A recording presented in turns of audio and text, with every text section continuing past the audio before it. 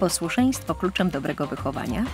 O tym opowiedzą dr Aleksandra Piotrowska, psycholog, redaktor Agata Puścikowska, dziennikarka, mama pięciorga dzieci oraz najsłynniejszy polski Hiszpan i ojciec Konrado Moreno. Jak zadbać o bezpieczeństwo naszych dzieci w cyberprzestrzeni?